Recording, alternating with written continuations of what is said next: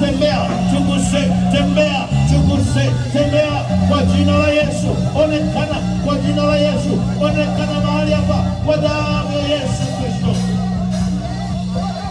Halaba ya basu katalaba Romana na mama ya mandara baba Omba, omba, omba, omba, pray, pray, pray, pray, pray, pray, pray. Pika pala baba baba, pika pala baba baba, pika pala baba baba, pika pala baba baba, pika pala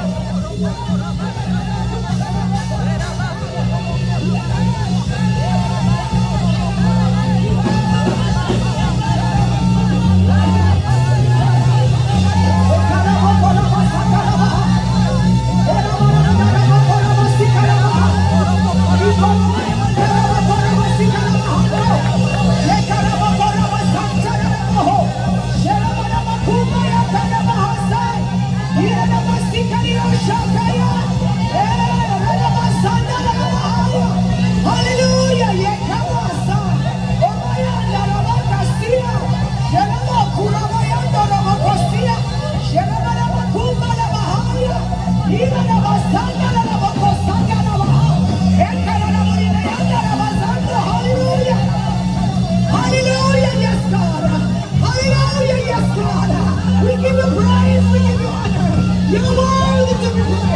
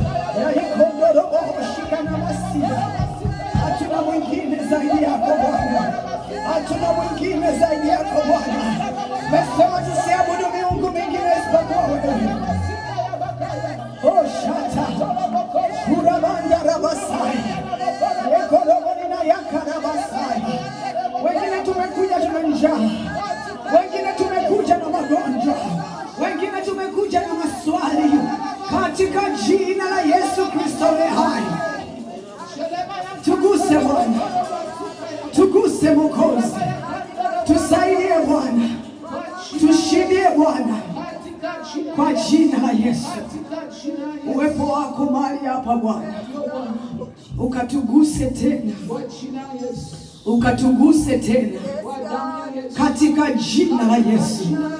Ukatuguse tena, sema nasi tena, utufungue tena. Oh, sadaka yetu ya maombi pokea, sadaka yetu ya toba pokea, kwa jina la Yesu. Mioyo yetu inakupenda, mioyo yetu inakuheshimu. Utusamehe pale ambapo tukukuheshimu pale ambapo tulijikuta tunakuheshimu tu kanisani, lakini pale ambapo tulishindwa kukuheshimu, tutakase, tusamehe, turehemu, tuvute karibu na wewe katika jina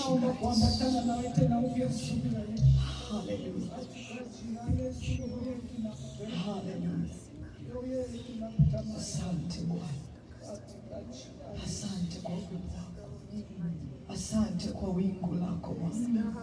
Hakika naliona wingu likiwa limetufunika, wingu lako likiwa limetufunika. Pokea sifa na utukufu. Kwa jina la Yesu, amen. Haleluya! Bwana Yesu asifiwe sana. Amen. Bwana Yesu asifiwe sana. Amen. Hallelujah. Hallelujah. Wangapi wanafuraha kuwepo nyumbani mwa Bwana asubuhi ya leo? Amen. Hallelujah. Hallelujah. Hallelujah. Hallelujah. Wangapi wana furaha kuwepo nyumbani mwa Bwana asubuhi ya leo? Hallelujah. Maneno yanakukosa, maneno hayako mengi ya kumwambia tunashukuru asubuhi ya leo. Hallelujah. Hallelujah. Yes, God. Hallelujah. Furahi kumwona kila mmoja wenu nyumbani mwa Bwana. Hallelujah.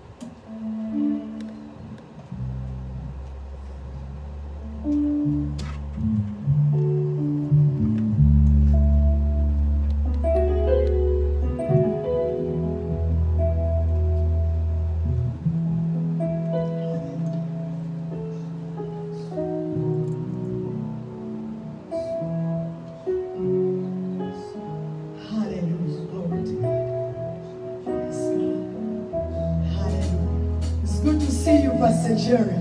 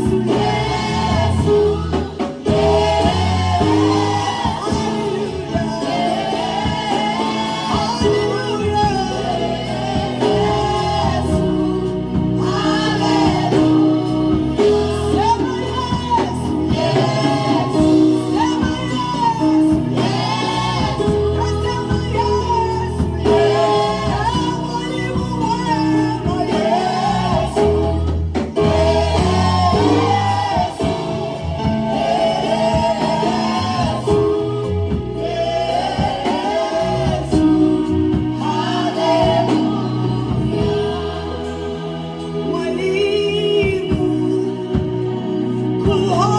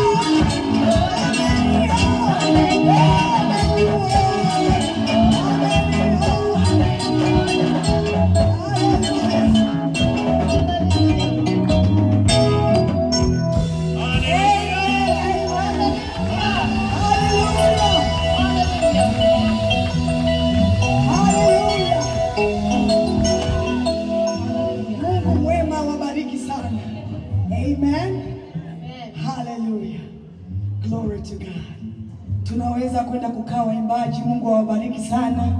Mnafanya kazi nzuri sana sana sana. Tunamshukuru Mungu kwa ajili ya kila mmoja wenu. We thank God for each one of you. Amen. You have value in the kingdom of God. You add value in the kingdom of God. Hallelujah. Hallelujah. To Jesus. Asante Yesu. Asante Mungu mwema.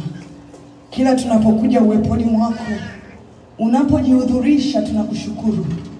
Tunakushukuru tena na tena na tena, kwa maana wewe ni Mungu wetu, wewe ni baba yetu, wewe ni kimbilio letu, wewe ni uzima wetu, wewe ni pumzi yetu, wewe ni afya yetu, wewe unatukutanisha na watakatifu kuifanya kazi njema katika jina la Yesu. Tamalaki mali hapa Bwana, tamalaki kwa damu ya Yesu, kwa damu ya mwana kondoo. Sema nasi tena na tena Bwana, ukatuvuvie roho wako kwa jina la Yesu. Tunaomba na kushukuru, amen. Haleluya, tutakwenda kumkaribisha pasta wetu, tunampenda. Haleluya, tunakupenda sana pasta. Haleluya, glory to God, amen. Bwana Yesu asifiwe. Bwana Yesu asifiwe. Jamani, mnanisikia huko? Bwana Yesu asifiwe. Haleluya. Nimesema haleluya. Sauti zenu, kuna wengine tabu umeingia hausweti kwa sababu ni mstaarabu. Yaani tukisema Bwana asifiwe, yule Bwana anayekutunza unaitika amen, unaitika ni usweti kabisa. Kweli kabisa, unafanya hivyo, usifanye hivyo Bwana. Hebu turudie tena, Bwana asifiwe. Sikia huku zinatoka huku huku huku huku, wanawazidi They are doing better on this side than this side. Don't let them, don't let them. Ngoja turudie tena, Bwana asifiwe. Ah, now, now we're doing something. Sasa inasikika vizuri. Hebu tupige ya mwisho kwa ajili ya Bwana. Bwana asifiwe! Bwana asifiwe! Vigelegele kwa Yesu, basi vigelegele na makofi. Haleluya. Tunamshukuru Mungu sana kwa ajili ya siku ya leo. It is a beautiful day. It is a wonderful day. Amen.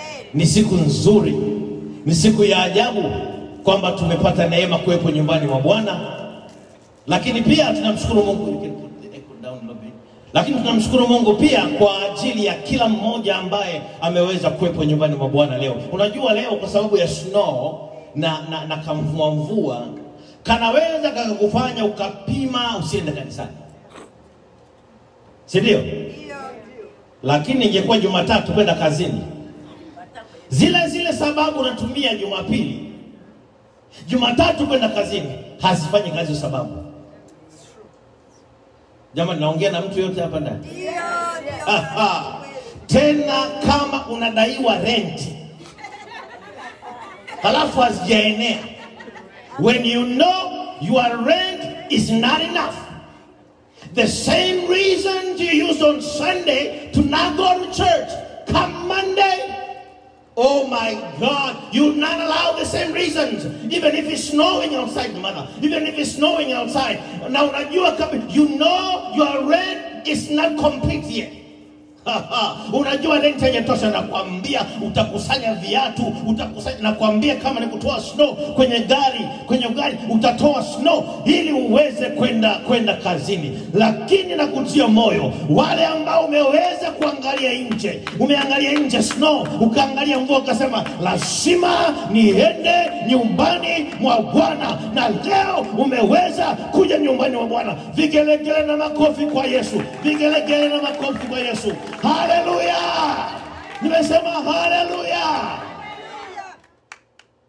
Kwa sababu hizo tunakwenda kumtolea Mungu sadaka, tunakwenda kumtolea Mungu sadaka kwa heshima kabisa. Lakini kabla, wakati unaandaa sadaka yako, nataka nisome mistari michache tu, tutaiangalia mistari michache tu kutoka katika kitabu cha Proverbs chapter 11, Methali sura ya 11, Methali sura ya 11 pale kwenye screen umepewa kashapu mpya. Kashapu mpya. My microphone is not giving me enough here enough here. Can i use this one maybe? Yeah this one is better. Okay good. Hallelujah. Hallelujah. That's our new kasha kama unatoa kwa kutumia kupitia kasha hiyo ndiyo kasha yetu mpya. Utaitumia leo kwa ajili ya kumtolea Mungu sadaka yako lakini nataka tusome maandiko. Endelea kuweka kashapu hiyo watu waweze kuiona. Tumia kashapu hiyo watu waweze kuiona. Tunakwenda kusoma maandiko, lakini tunataka pia uwe na hiyo kashapu uweze kuiona. Wale ambao wanamtolea Mungu kwa kutumia kashapu, utatumia hiyo kwa ajili ya kumtolea Mungu sadaka yako asubuhi ya leo. Bwana Yesu asifiwe sana.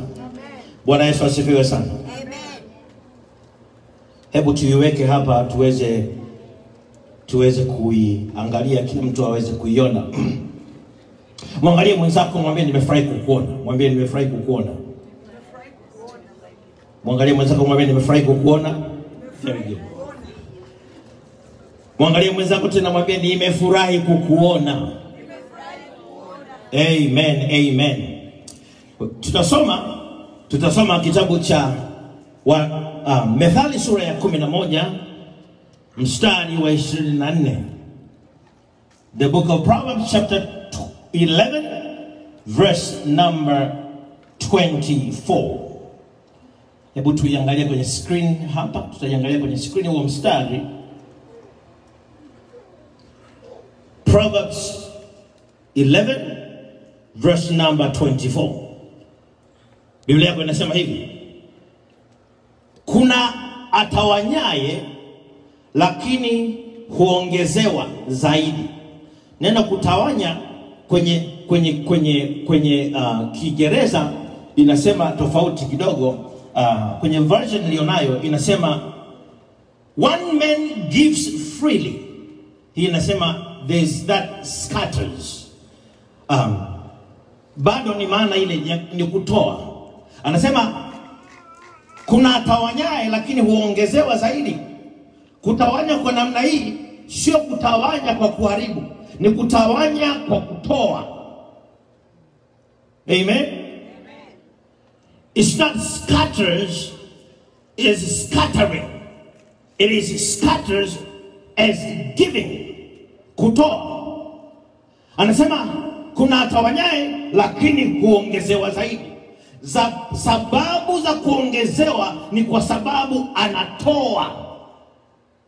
Anaendelea, anasema kuna azuiae isivyo haki, lakini huelekea uhitaji. Kiswahili nasema uhitaji, Kiingereza nasema vizuri, nasema and there, e, there is that withholds more than its meat but it tenders to poverty. Hii version yangu hapa inasema hivi another holds unduly but comes to poverty. Kuna wale ambao wanashikilia hawataki kutoa. Maandiko yanasema wanaishia kwenye umasikini, kwa sababu moja ya sababu kwa nini Mungu akupe wewe zaidi ni kwa sababu unajua kwanza kumheshimu Mungu, unajua you know how to honor the Lord with your substance, you know how to honor God with your giving. Unajua namna ya kumheshimu Mungu na utoaji wako. Unaweza ukawa unajua mistari ya Biblia mingine, ikifikia mstari wa kutoa unakuwa kama kama huuelewi hivi. Hapana, unaeleweka kabisa, uko very clear. Kumtolea Mungu fungo la kumi, kumtolea Mungu sadaka ya shukurani ni jambo na tabia ya Mkristo yeyote anayejielewa na anayeelewa kwamba nguvu alizonazo ni Mungu anayekupa. Haleluya! Nimesema haleluya. Hebu niwasikie jamani, nimesema haleluya. Kwa hiyo Mungu anapokupa nguvu, nimewaambia asubuhi wakati tunaomba, nimesema hivi hivi, unajua kwamba asubuhi hii wewe ulipokuwa unaingia kanisani, ulipokuwa una check into the church asubuhi, somebody was checking the hospital. Unajua hivyo? Yaani wewe wakati unaingia kanisani, mlango wa kanisa, mwenzako mwingine anaingia mlango wa hospitali, na kuna uwezekano mwingine anaingia mlango wa jela, na mwingine anaingia mlango wa chumbani kwake ambako magomvi na mke wake na mume wake ni hatari sana, ndoa inataka kupasuka. Ukiona Mungu amekupa nguvu, umeamka asubuhi, una sababu za kumshukuru Mungu, unaweza kwenda kazini, unaweza ku, ku, kuwa na uhai. Hiyo peke yake ni sababu inatosha kumtolea Mungu sadaka ya shukurani. Bwana Yesu asifiwe. Bwana Yesu asifiwe. Hebu mpigie Mungu makofi kidogo, makofi kidogo, makofi kidogo. Kama una mikono, kama una mikono, pigia Mungu makofi. Haleluya! Bila kuchukua muda, tutakwenda kumtolea Mungu sadaka. Kama unahitaji bahasha, utanyosha mkono, watakuletea bahasha, na kama ulishachukua bahasha yako, uko tayari, tutaleta sadaka mbele, tutakuja kumtolea sadaka Mungu hapa mbele. Uh, mtumishi wa Mungu mzee wa kanisa Gladys atasimama hapa mbele kama ambavyo imekuwa desturi yetu sasa kwa ajili ya sisi kumletea Mungu sadaka. Haleluya! Jo atakuwa anatupigia mziki kwa mbali wakati tunamletea Mungu sadaka, na wakati tunajiandaa kulisikia neno asubuhi ya leo. Kama unahitaji kutumia cash app, again cash app mpya ya kanisa ni hiyo hapa, na wale wote ambao umetuma cash app yako sadaka kutumia namba ya zamani, na napenda uwe na amani, haijapotea haijaenda kokote, bado itakabidhiwa kama vile vile ilivyokuwa mwanzoni, mpaka hapo ambapo watu watazoea. Bado itachukua muda mrefu watu kuzoea namba hii mpya, lakini vyovyote ambavyo umetoa sadaka yako itafika. Hii ndio namba mpya kwa ajili ya kanisa moja kwa moja. Lakini kwa wale ambao ulitoka kutumia namba ya zamani, bado hujapoteza, bado hujakosea, umefanya sawa sawa, na siku nyingine sasa utaanza kutumia hii namba mpya. Mungu awabariki sana. Tunamshukuru Mungu sana kwa ajili ya sadaka zenu. Asanteni wote ambao mnamletea Mungu sadaka. Mungu awabariki sana sana sana. Namshukuru Mungu sana kwa ajili ya Pastor Nunu ambaye amekuwa nguzo kubwa sana kwetu. Amekuwa msaada sana kwenye maisha yangu na watoto, lakini pia amekuwa ni nguzo kwa kanisa, si ndio? Narudia tena, amekuwa nguzo kwa kanisa, si ndio? Natamani um- umsikie Pastor Nunu akiwa naomba na kuombea. Nakwambia, natamani ungemsikia Pastor Nunu napokuwa naomba na kuombea. Utafikiri shida yako ameifanya kuwa shida yake. Utafikiri matatizo yako ameyafanya kuwa ya kwake. Ni kwa sababu Mungu amempa moyo wa tofauti. Namshukuru Mungu sana kwa ajili ya huyu mama. Namshukuru Mungu sana kwa ajili ya kujitoa kwake. Jamani, tumpigie Mungu makofi kwa ajili ya Pastor Nunu.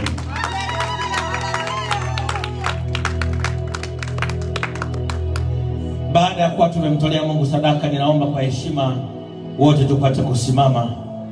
Wale tunaweza kusimama, wale tunaweza kusimama, nitaomba tusimame tupate kuomba kwa ajili ya sadaka.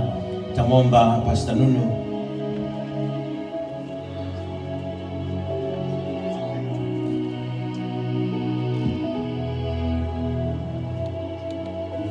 Tutakwenda kuomba kwa ajili ya sadaka ya leo. Naomba unyoshe mkono wako mbele. Stretch forth your hand. Stretch forth your hand towards the offering. We're going to pray. Katika jina la Yesu Kristo. Tuombe. Baba Mungu, katika jina la Yesu Kristo, Mungu usiyeshindwa na jambo, Mungu unayetutendea mema, Mungu uliye mwema kila siku, kila saa, wewe ni mwaminifu kila siku, kila saa, wewe mwaminifu. Kila siku, kila saa, wewe ni mwaminifu Bwana, kila siku, kila saa, wewe ni mwaminifu Bwana, kwa jina la Yesu. Asubuhi ya leo, mchana wa leo, jioni ya leo, tunaleta sadaka mbele yako, tunaomba uipokee, tunaomba uitakase. Katika jina la Yesu. Waangalie waliotoa Bwana, ukawabariki sawa sawa na neno lako, wabariki kazini mwao, bariki kazi za mikono yao, bariki benki zao, akaunti, bariki kabariki biashara zao kwa jina la Yesu. Hata wale wasiokuwa na kazi, wasiokuwa na biashara na bado wamekutolea, uwabariki Bwana kwa jina la Yesu, kwa damu ya Yesu, uitakase sadaka hii Bwana, uitakase katika jina la Yesu. Wakumbuke hata wale ambao hawakutoa, wengine hawakutoa kwa sababu hawana, na wengine hawakutoa kwa sababu wameshindwa. Baba, katika jina la Yesu wakumbuke, angalia mioyo yao kwa jina la Yesu, ukawabariki Baba, hata wale ambao wameshindwa kukutolea asubuhi ya leo. Kwa sababu tu nzuri, utawabariki Jehova, utawakumbuka Jehova, utawaongezea kwa jina la Yesu, utamkemea aibaye, utamkemea aibaye kwa jina la Yesu, kwa jina la Yesu, kwa damu ya Yesu, kwa moto, kwa jina la Yesu, kila kinachotuibia pesa, kila kinachotuibia pesa, magonjwa, madeni, kwa jina la Yesu, achilia, achilia, toka, toka, toka, achilia kwa jina la Yesu Kristo. Bariki watu wako asubuhi ya leo na mchana wa leo, ni katika jina la Baba na la Mwana na la Roho Mtakatifu, na kila mmoja kwa sauti kubwa kabisa sema haleluya, sema haleluya, paza sauti, sema haleluya. You may be seated. Unaweza kukaa, unaweza kukaa. Haleluya. Tamwomba Pastor Nunu aje kusimama na mimi hapo kwa dakika moja wakati tunamkaribisha mhubiri wa leo. As we prepare ourselves to hear the word from the Lord from our dear dear friend Mother Jerry Pastor Jerry. I want to say just a few words Mother. From day one when God brought us together It was a journey of joy and love and happiness and forgiving and encouraging one another. I know Pastor, Pastor Kevin is resting, um, you know, taking care of the surgery that he went through, but God is healing him in the name of Jesus. And we're so thankful that you are here today. We are so proud of you. We thank God for your support, your always support. We love you from the bottom of our hearts. I want to thank you so much for being here today. Namshukuru Mungu sana kwa ajili ya mama huyu. Tumekuwa na urafiki naye kwa miaka mingi sana, na mume wake mume wake alikuwa na alifanyiwa uh, surgery uh, kwa Swahili sa- upasuaji, ndio? Nasema hivyo eh? alipatiwa upa- upa- upasuaji wa bega lake lilikuwa linamsumbua, hakuweza kuja asubuhi ya leo, lakini wamekuwa marafiki wazuri kwa miaka mingi, wanauelewa mkubwa sana. Tunamshukuru Mungu sana kwa miaka ambayo tumekuwa nayo na rafiki, na asubuhi hii ndiye mhubiri wetu wa leo. Ah, naomba wale wanaoweza kupiga makofi, those of you who can clap your hands as we invite mother Come on, put your hands together and bless God, bless God, bless God, bless God, bless God. Mpigie Mungu makofi katika jina la Yesu. Makofi kwa Yesu, makofi kwa Yesu, makofi kwa Yesu.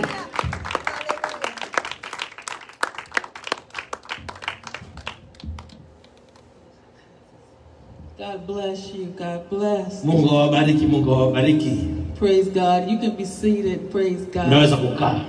I just, I just want to do just a little more of that song, um, Brother Joe. Just a little more. Nataka niimbe tena kidogo ule wimbo, nimeu- naupenda sana. Pastor Nono, come and join. Praise God. Just, a, just a little more. We can do it slow. Esther, I, Esther, come and join. I uh, had it in my spirit to sing, and Pastor Nunu sung it before I could. Wimbo huu ulikuwa moyoni mwangu kabla haujaimbwa, nisi- nisijue kwamba kumbe na Pastor Nunu atauimba. because it's the sentiments of my heart. yaani ni harufu nzuri ya moyo wangu Lord, I'm nothing without you. bwana mimi si kitu bila wewe Don't care what I have. Haijalishi na nini Don't care what I don't have. haijalishi sina nini But I'm nothing without you, Jesus. mimi ni bure bila wewe yesu Praise you, Jesus. Lord, I am nothing without you. Yeah, yeah, yeah,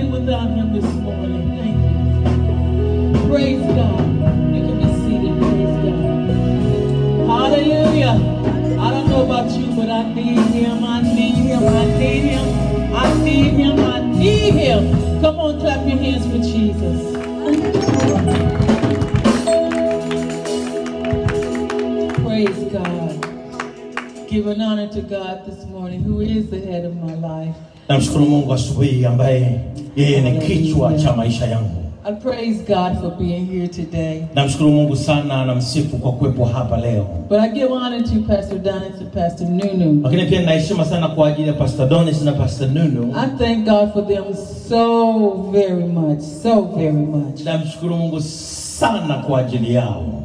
I just have to tell you, my life changed when I met them. Maisha yangu yalibadilika siku nilikutana nao. I was saved, filled with the Holy Ghost. Nilikuwa nimeokoka, nimejaza na Roho Mtakatifu, But there was another level that God wanted to take me. lakini kulikuwa na kiwango kingine Bwana alitaka nipandishe, And I'm telling you, I don't regret it at all. I don't regret it. na nakwambia hata sisikitiki I don't regret it. hata kidogo. Hallelujah. Hallelujah. I don't regret the suffering. Siwezi Hallelujah. kusikitika kuteseka, I don't regret being talked about because I was associated with the Africans. siogopi ku, kusema na kutekwa kwa sababu I nashirikiana na, don't mind Waafrika, because it took me a place, it took me to a place I had never been kwa sababu before. kukaa na Waafrika Waafrika ilinipeleka mahali pengine. And that's kind of what I want to preach about this morning. Ndicho hicho nataka kuhubiri asubuhi ya leo. And I know I use the word preach, but I just want to talk to you. Najua nasema neno kuhubiri, lakini mimi nataka kuzungumza na ninyi. I don't call myself a preacher, preacher, Nimewahi kujiita kuitwa mhubiri, but they call me mother, and I feel like I have something to talk about today. lakini wananitaga mama, na mimi najisikia kama mama na na nataka kuzungumza na ninyi. Praise. God. I just want to kind of mother you this morning. Nataka kuwa- kuwa- kuwa- kuwakuza kama mama leo asubuhi. Hallelujah. Because this is what the Lord dealt with me. I don't know you. You're a whole different people. We, when I was here before, si si si siwajui siwajui kabisa lakini nilipokuwa hapa zamani it was other people I knew. I don't walikuwa ni know watu you, wengine y'all. nawajua I don't know you, but I would love to get to know you because you're God's people. lakini ninyi watu hapa natamani wafahamu kwa sababu ni watu wa mungu Praise God. But there is another level that God wants us to get to. kuna kiwango kingine mungu anataka tukifikie Hallelujah. It's time for us to stop being in one place. Inabidi tuache kubakia pale pale And I'm not talking about the building. na sizungumzii jengo I'm not talking about following Pastor Johnson and Pastor Nunu. sizungumzia habari ya kumfuata Pastor Donis But I'm talking about a place in God. nazungumzia pale mahali ndani ya Praise mungu Jesus. We've been saved. We've been seeking God. tumeokoka tumekuwa tunamtafuta mungu So we say. kwa hiyo tunasema And some of us ain't went nowhere. We're still on the same level. lakini kuna wengine hatuendi popote, hatukui, tuko pale pale, But God loves us and He wants us to soar. lakini Mungu anatupenda, anataka tupande. It's time for us to soar. Mungu anataka tujue namna ya kupanda na kuinuka. Praise God. Many of us don't want to even deal with what we dealt with in 2020. Uh, Kuna watu wengine, kuna watu wengine tulioyapitia mwaka jana We hawayataki tena, hatuyataki. We want to go to a new place. Tunataka twende mahali Higher heights. mahali pa juu Better things. mahali pa mambo mazuri, But it's all up to you. lakini yote yanategemeana na wewe, It's all up to you. inategemeana na wewe. You can go with money. Unaweza ukaenda na pesa, You can go with no money. unaweza ukaenda bila Because pesa, when you go with God, you don't need nobody else. lakini ukienda na Mungu need hauhitaji mtu yoyote, uhitaji chochote kile. When you go with God. Ukienda na Mungu And we've got to change some things, of people. na, na kuna mambo lazima tuyabadilishe jamani. I praise God. You know, we uh, we say in, in, in back in the day, he's a lawyer in the courtroom. Unajua, tunasemaga zamani, tulikuwa tunasema kwamba Mungu ni wanasheria mtetezi mahakamani, tena ni daktari hospitalini. We say those things and we, we do believe it, but we really don't know it until you go through it. Tunasema sema tu, lakini kwa kweli hatuelewi. Utaelewa mpaka ukipitia hayo. You can say it all you want, unaweza ukasema vyovyote unavyotaka kusema but until you go through it, you don't know lakini it. kama hujapitia hujui But I found out he was a doctor in the sick room. lakini nilikuja kujifunza kama kweli mungu ni daktari ukiwa kwenye chumba cha hospitali. Five years ago, I was here in this church, miaka mitano iliyopita nilikuwa hapa kanisani. And they told me I needed a heart uh, uh, uh, surgery. na hospitalini wakanipima wakasema natakiwa nifanyiwe wa moyo wangu I didn't want heart surgery. sikutaka kupasuliwa moyo jamani I wanted to know God to be a healer. nilitaka nijue mungu go ananiponya through that. sikutaka kupitia yote hayo I wanted Him to fix me. Nilitaka tu mungu aweze kufanya mambo yake. I know if God would fix me, I'll be fixed right. najua mungu akinitengeneza atanitengeneza vizuri Hallelujah. So first thing I did was call Pastor Donis, kwa hiyo cha kwanza walivyoniambia hospitali nikapiga simu hapo hapo kwa pastor Donis and he said, Mother, we're going to pray. akasema mama tutaomba The doctors told me you come back here in seven days madaktari wamemwambia unatakiwa kurudi hapa baada ya siku saba and we're going to schedule your surgery because you got to have it. wakasema lazima tukuwekee tukulete tukufanyie upasuaji lazima tukupasue Now, I was supposed to see the doctor that next Wednesday. kwa hiyo baada ya wiki moja nilitakiwa nirudi kwa daktari I came to church Sunday right here in this place. nikaja jumapili asubuhi hapa hapa With hapa the anointed man and the anointed woman of God. walikuwepo hapa pastor Donis And na I pastor Nana. said, nikasema if they can lay hands on me, I know I'll be all right. nachotaka tu waniwekee mikono Hallelujah. nitapona And I'm not so much talking about them, but I'm talking about the God that lives inside of this man. Mimi The God that lives inside of her. siwazungumzi pastor Donis namzungumzia mungu anayeishi ndani yao haleluya I believed him. ninaamini And going to tell you to be honest, ngoja nikuambie kusema ukweli kabisa I had a little fear. nilikuwa na kahofu fulani Yes, I did. kabisa Speaking in tongues. nilikuwa nanena kwa I love God. nampenda yesu I was fasting. nilikuwa But I had a fear. lakini nilikuwa na kahofu na amani na kahofu But something got a hold of me. lakini kuna kitu kikanishika And it told me, you got to let your giant die. nikaambiwa unatakiwa hicho kinachokusumbua kinaonekana kikubwa kiache kife I found out that day I had to slay my giant. Siku ile nikajua kwamba natakiwa Hallelujah. ni uwa kinachonitisha You see, that was a giant to me to know that they want to open my chest and go inside my. Oh no, that was a giant. na kuambia mimi kwangu ile ilikuwa ni tishio kuambiwa kwamba natakiwa nipasuliwe moyo hapana Praise God, but I've heard so many times that He was a healer.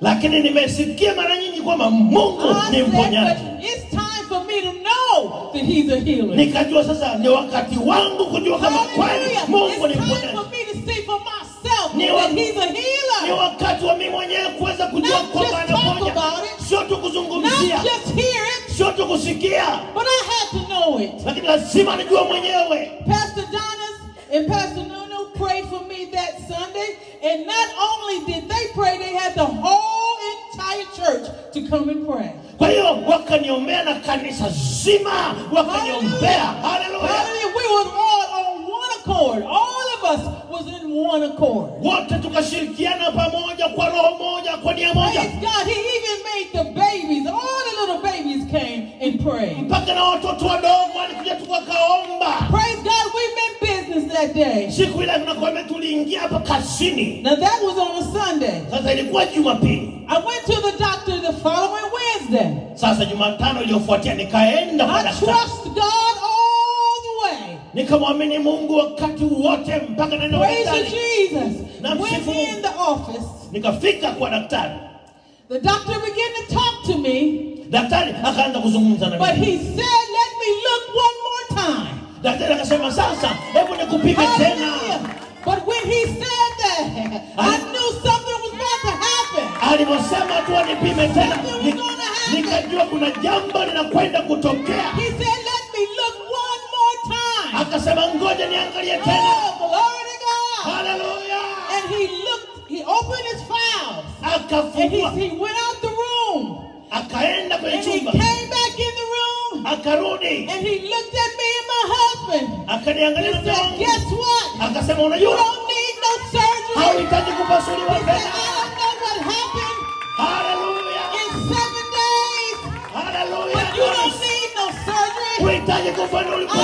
at my husband.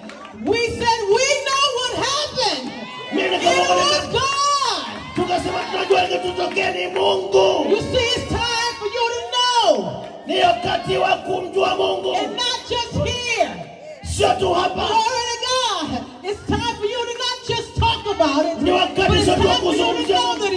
ni wakati wa kumjua mungu na kujua na mungu wa kweli in the church. nimekulia And they raised me to know that He was real. Walinifundisha kwamba mungu wa kweli lakini sikujua mpaka alipoanza kufanya kazi ndani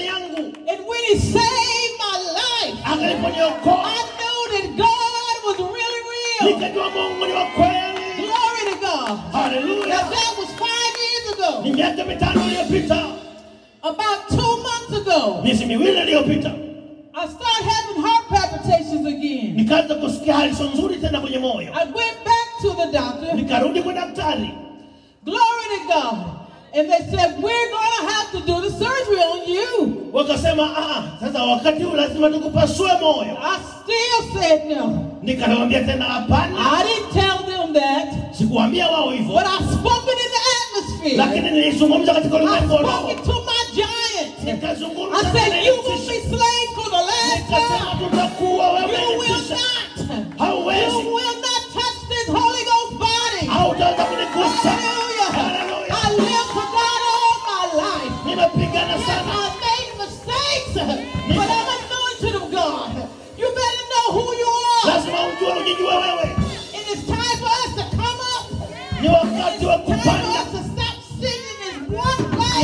wakati wa kuacha kukaa. Lazima usimame. uanze kuinuka juu you to slay your ni wakati wa kuua kinachokutisha moyo ilikuwa ni tisho kubwa sana kwangu So I prayed again. kwa nikaomba I tena said, Lord, you did it once. nikasema mungu I mara. unaweza kurudia I tena don't want them touching my heart. sitaki kuguswa moyo wangu upasuliwe do it. sitaki moyo wangu Let me tell you what I did. ngoja nilifanya nini You may not agree. You don't have to do what I did because we're different people. unaweza usikubali kwa vile nilivyofanya I took communion every day. Nikaamua kuwa na, na, na, kuwa, na kula meza ya bwana kila siku Because I knew he was a healer. kwa sababu nilijua I mungu ni mponyaji knew that he gave his life for me. nilijua alitoa maisha yake kwa ajili yangu Hallelujah. I thought about all those stripes on his back. najua kabisa I kwamba thought about all the blood that he shed. najua damu Just that I may have the right ili niweze kuponywa not only to be saved, sio tu kwamba niliokoa not only to be delivered, sio tu kwamba niweze kukombolewa aliniokoa ili aniponye. died that I may be healed. ili niweze kuponywa. Kwa hiyo nikasema ni wakati wangu wa kuponywa. kwa hiyo kila asubuhi nikaanza kushiriki mwili wa bwana. People can laugh at me all you want, but I believe God. nikasema watu wakinicheka shauri yao. unaweza ukasema unachotaka kusema. unaweza ukakaa kapo kasubaa Unaweza ukawa na huzuni. lakini lazima niende juu nikaanza kushiriki meza ya bwana. meza ya bwana kila siku. So they scheduled me. kwa hiyo wakanipangia ratiba sasa. And I was scheduled for that following Monday because I had palpitations for 10 days straight. Kwa hiyo ile hali kwa inani- inanisumbua nikaendelea kumwamini mungu. 10 days I never had palpitations that long, ever. sasa baada ya hapo kwa siku kumi hiyo hali ikaondoka yote. So they scheduled me for that Monday. wakawa wamenipangia ratiba ya kwenda jumatatu. See, no matter what it looked like, sikuwa najua mambo yataendaje. no matter how I felt, lakini haikujalisha nilikuwa najisikia namna gani I was still having palpitations. bado ile hali ikarudi tena Through all of that, I believed God and I trusted Him. ile hali ambayo kusumbua bado nilimwamini mungu nikaendelea kushiriki meza ya bwana kept on praying. nikaendelea kuomba I kept on singing. nikaendelea kuimba I kept on worshiping. nikaendelea kuabudu And that Friday, ijumaa palpitations stopped. Hali ile ufuwa wa moyo ikasimama ukaacha, haleluya ikaacha ikaacha See, for some of you that may not know when you have palpitations, you can't hardly breathe. unajua kuna watu wengine hamjui You can't kuna, hardly move. kuna hali fulani You ikipata can't do nothing. ya moyo kusumbua huwezi kupumua vizuri huwezi kufanya chochote huwezi hata kutembea But through palpitations, I still had to take care of my mother. lakini pamoja na I matatizo still ya had to moyo go up and down. the ninaishi na mama yangu lazima I still nimsaidie had to cook her food. niende upstairs nirudi nimpikie as soon as I was done with her, I would go and lay down. lakini nikimaliza nikimaliza kumshughulikia mama yangu na kwenda kulala niko hoi But even through all of that, I said, God, I lakini pamoja na hayo yote nikasema baba bado Palpitations stopped that Friday. Kwa hiyo ile ijumaa yule usumbufu moyoni kwenye moyo ukasimama So I hurry up and I call the doctor. kwa hiyo nikafanya haraka nikampigia simu daktari nikamwambia ile hali ya moyo imeacha They said, you come on in today. wakaniambia njoo njoo leo Praise God. I went in the very same day. siku hiyo hiyo nikaenda kwa daktari they had to give me an EKG look at my heart and see if it was just like I said it was or was I just talking. Wakachukua kile kipimo cha EKG wakanipima ili kujua kwamba je hayo maneno nayosema ni maneno yangu tu kweli au ni kweli kuna jambo limetokea But I went in and got that EKG and they, they looked at me. They said, you are fine. wakanipima wakasema "Eh, You are good. umepona uko sawa They said, you're good, Miss Jerry.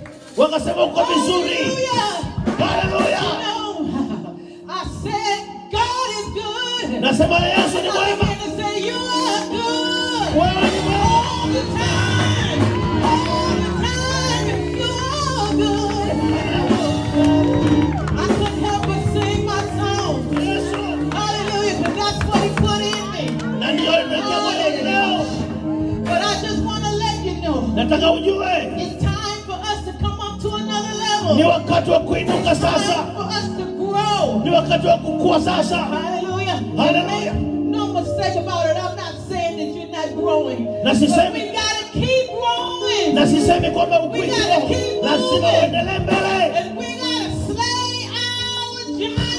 lazima uwe kinachokutisha It don't do us no good to come to church and speak in tongues. haitusaidii kuja kanisani tunanena kwa lugha We don't. It don't pay.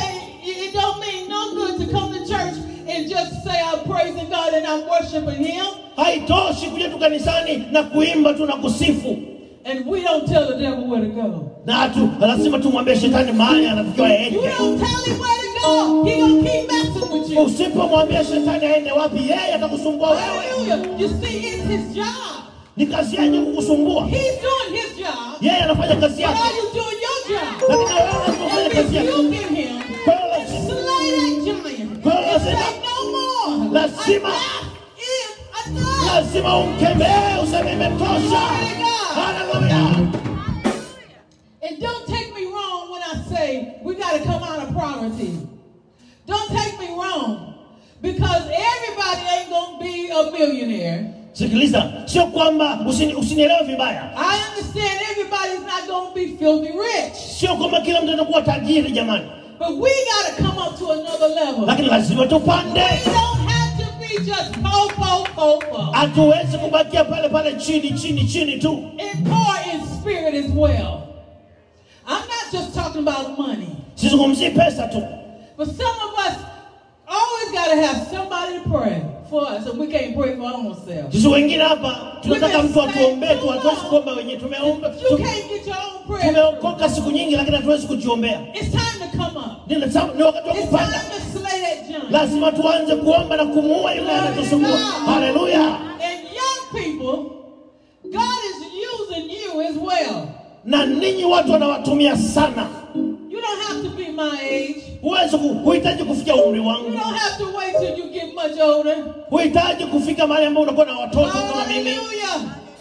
Look at David, mwangalie david young man. david kijana We know there's many others that God used as teenagers. tunawajua vijana wengi boys. Hey, Jesus started before he was 12. bwana ali yesu alitumia akiwa na miaka kumi na mbili He told his mother, I gotta be about my father's business. yesu That's what he akam- told her. yesu akamwambia mama yake lazima nimtumikie mungu Y'all could go to a wedding. He, he had to go because alikuwa anatakiwa kwenda kwenye harusi na wazazi wake. Lakini walipofika walipofika kwenye harusi yeye yesu akaanza. kazi zake za kuhubiri na kuponya wagonjwa. And his mother was upset. mama yake akasikitika akasema yesu where were you? ulikuwa wapi? He said, I was being about my father's business. akasema nilikuwa nafanya kazi ya mungu baba yangu In other words, where were you? No. Glory to God. But hallelujah. Hallelujah.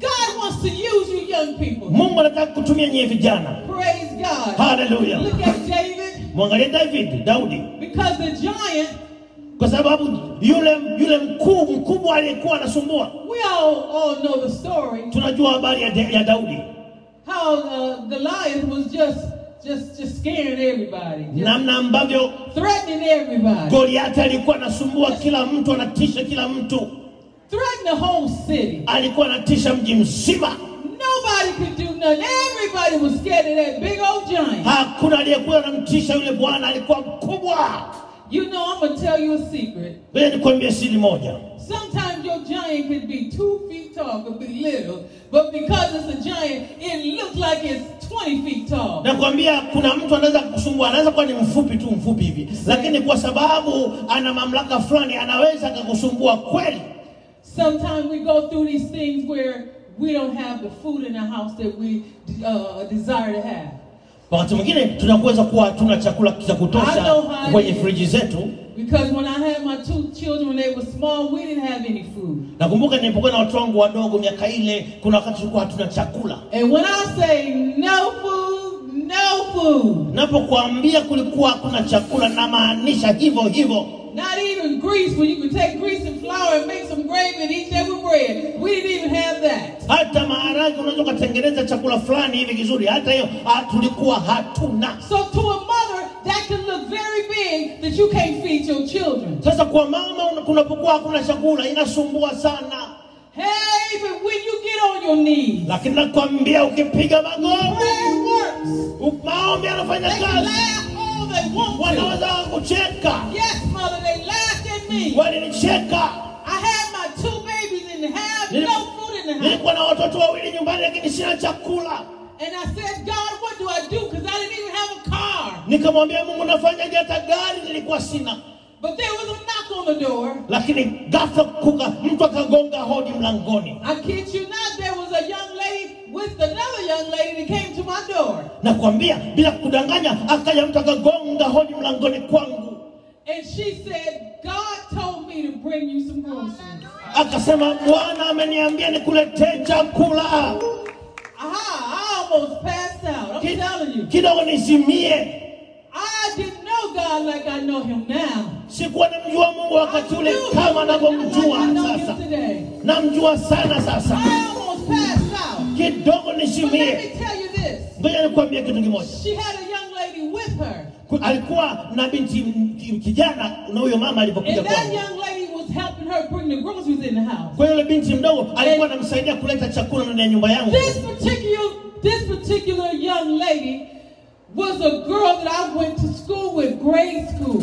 sasa huyu huyu mama ni mama ambaye nilisoma naye This girl teased me every day of my life. alikuwa ananitaniaga kila She made fun of me every day that she saw me in school. sio tu kunitania kunitania ile kuni, kuni, kunidhihaki kunicheka Hallelujah. Because I was the sanctified girl. kwa sababu nilikuwa mimi ni mlokole I did I didn't do things that they did. sikuwa nafanya mambo walikuwa wanafanya wao So she talked about me. kwa alikuwa ananiongelea She sana laughed at me. alikuwa ananicheka She cheka spit on me. alikuwa ananitemea hata mate wakati mwingine because I was a quiet, little sanctified girl. kwa nini kwa sababu nilikuwaga mkimya alafu mlokole So mkimya I'm wondering what in the world are you doing in my house, bringing me groceries after what you done did to me all these years? nikashangaa inawezekanaje mtu alikuwa ananitesa ananisumbua maisha yangu yote shuleni eti ananiletea chakula I hadn't seen her since I was in grade school. na nilikuwa sijamwona tangu shule ya msingi Of sixth grade, I didn't see her no more. darasa la sita nilikuwa sijamuona tangu darasa la sita So I said, Nikashangaa nikamsha nikamuuliza unakuja kufanya nini hapa Shandarabashande. She said, I come to tell you, akasema nimekuja kukwambia I'm sorry for how I treated you in school. naomba unisamehe nilipokufanya vibaya Because the Lord has saved me. kwa sababu na mimi nimeokoka God did a new thing within bwana amefanya jambo jipya ndani yangu Hallelujah. Hallelujah. Kwa nini I asked my friend, Where is that girl named Jerry? kwa hiyo marafiki zangu Jerry yuko wapi You know She said, unamjua jeri wakasema takupeleka wanasema nisaidie nipeleke chakula kwake mungu anajua kufanya mambo. Ni wakati wa kumwamini mungu sasa ni wakati wa kumkemea anayetutisha kwa sababu anayekutisha usipomuua atakushughulikia wewe. ngoja tuendelee na daudi said, huh, I will. hakuna aliyekuwa anataka kumgusa He goliati said, lakini "I daudi will." akasema mimi nitamshughulikia huyo He said, yeah, I'm young. Yes, I'm small. And he, this is what I really like. I, I didn't open the Bible, but y'all know the scriptures. I can go through the scriptures here. But he said in the scripture, lakini anasema biblia kwamba he looked at uh, uh, uh, Goliath, he said, daudi akamwangalia goliati akasema yeah, you got a sword. Akasema najua wewe una upanga una kofia lakini mimi ninakuja kujia kwa neno la mungu. mimi sikuogopi. It looked like David lied to himself because he told Goliath, he said, because I'm going to have your head in a minute. akasema wewe leo kichwa chako slay nita- you." nitakukata kichwa leo. And I'm your head. nitakukata kichwa leo Hallelujah. Hallelujah. But he wasn't scared. kwa hiyo You can't kumwogopa be scared, young people. huwezi kuogopa Hallelujah. Usiogope. The enemy ain't scared today. shetani ana haogopi yeye These young people, especially millenniums, vijana wa siku hizi jamani vijana wa siku hizi they don't seem to be scared of nothing. wanaonekana hawaogopi chochote They don't seem to be scared of Jesus. wanaonekana hata yesu hawamwogopi What they try to do kufanya walk the line. That's what they try to do, with the millennials today. Back in my day, miaka ya nyuma mimi honey, we had to be holy. ilikuwa lazima utembee kwa utakatifu Or act like it or live like we had to. lakini hata ufanyaji ilikuwa hata kama ibidi ujifanyishe itabidi ujifanyishe tu Because the old mothers of the church will look right through you. kwa sababu wamama wa And miaka if ile you didn't look holy, wakikuangalia if unaona unaonekana huko sawasawa kama uongei sawasawa watakukalisha chini. na wanakuleta madhabahuni. mpaka utakasike. Lakini leo they try to get close to the line without going over. hawa watoto vijana wa siku hizi wanasogea sana wanasogea lakini hawavuki. How much can we sin without really sinning? Hivi ni mangapi tumeshaona mpaka sasa What we call sin back then, down today, they ain't calling sin no more. dhambi tunaiona sasa hivi ni kubwa sana tell you that righteousness is righteousness. lakini nakwambia utakatifu ni utakatifu utakatifu ni utakatifu We serve the same God. He's no different. tunamtumikia mungu yule yule To be holy, kuwa mtakatifu we gotta be holy. lazima tuwe watakatifu We can't go out drinking and smoking say, hatuwezi kuwa walevi na wavutaji alafu tunarudi kanisani all tena I gotta do is ask God to forgive me. halafu unachokifanya namwambia mungu ni nisamehe God looking at you. mungu anakuangalia He's calling for righteousness. anaita He's calling utakatifu for holiness. anataka utakatifu na usafi Praise God. Hallelujah. And you forgetting the devil know who you are. unasahau shetani alivyo You can't play. He know if you real. shetani He hachezi anajua knows if you real. anajua kama wewe una feki au ni kweli You can come in trying to cast the devil out if you want to. He gonna laugh at you. anaweza unaweza ukaja hapa ukajifanya unakemea He mapepo gonna make atacheka fun of you. atakucheka You better know what you know. lazima umjue unayemjua ni wakati wa kuwa anayetuongopesha haleluya Praise God. Now we know that some of our giants could be fear. kwamba unajua kwamba vitu vingine ambavyo kwetu ni vinavyotisha inaweza kuwa ni hofu yako A giant could be hurt. hofu pia inaweza kuwa ni machungu A giant could be loneliness. Hofu pia inaweza kawa ni upweke A giant could be pride, kitu kingine inaweza kuwa pia labda kiburi chako jealousy. wivu And I'm gonna tell you this: some of you need to slay your friends. na kuambia wengine lazima niwaambie lazima ufukuzie mbali marafiki You need to slay some of your friends that don't walk godly. marafiki zako wengine wasiotembea katika mungu lazima sukumia mbali Today I can love you, but I ain't gotta be close to you if you don't want to walk right. siku hizi naweza nikakupenda lakini sio lazima nikusogelee kama utembei na mungu wewe nakupenda Because Christ loves you. kwa sababu yesu anakupenda haleluya And I pray for you. na nakuombea But I ain't going out to dinner with you. lakini siwezi kwenda kwenda na kutembea na I ain't walking with you. siwezi kuzurura na wewe gonna do what you do. siwezi kufanya unayofanya wewe Like I said, see today, when when back in the day we thought sin and, and sin was drinking and smoking and, and today people doing it every day and and, and, and, and doing praise and worship. zamani tulidhani kwamba kuvuta sigara na kunywa pombe ni dhambi lakini siku hizi watu wanakunywa na wanalewa na wanavuta sigara na bado wanakuja wanaimba Slipping and tipping with other folks' wives and other folks' husbands. wengine wengine wanalala na waume za watu wake za watu That's happening every day. inatokea kila siku But God's calling for realness. lakini mungu anatuita tuwe watu safi mbele And we can do it. na tunaweza kutembea We usafi can mbele live holy. tunaweza kuishi maisha ya really utakatifu want to be holy, na kama unataka kuwa mtakatifu on your face. lazima If ujiambie kama unataka utakatifu lazima usimame kama unataka kuwa mtakatifu waambie marafiki zako siwezi tena. Lazima niende nyumbani. lazima nikae na nikae Yesu. lazima namuna na Yesu. It's nothing like spending time with God. hakuna kitu kizuri kama kukaa na Bwana. It'll make you itakufanya uweze kuwa vile ambavyo Mungu anataka uwe. utakuwa hakika mama wa Mungu with Him. ukiweza kukaa na Mungu katika maombi I don't want to be with a man that don't want to be with me.